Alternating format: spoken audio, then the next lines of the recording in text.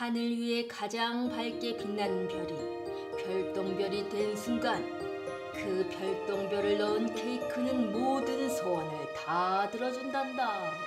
이 케이크만 만들면 내 소원이 이루어질까?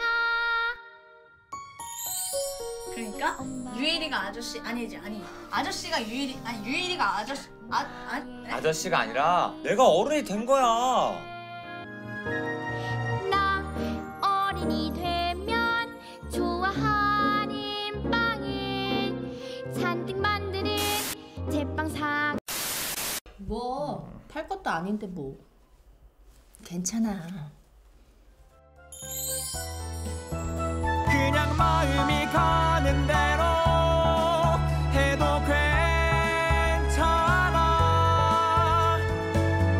어른이라도 그래도 괜찮아.